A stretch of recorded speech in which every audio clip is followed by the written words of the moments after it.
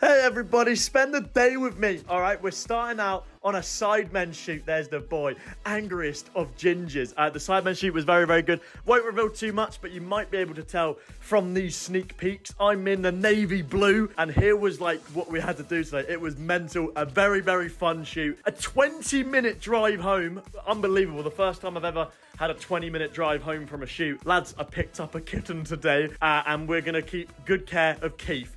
Yes, I've called the cat Keith, but look at him. He's absolutely adorable, enjoying his new toy thing. I think he was quite scared of it, but he'll get used to it. Then I'm going to get a haircut, all right, because I need to look fresh because it's date night, baby. We went out for a nice Caribbean. I'm cultured, all right? Then it's back home now.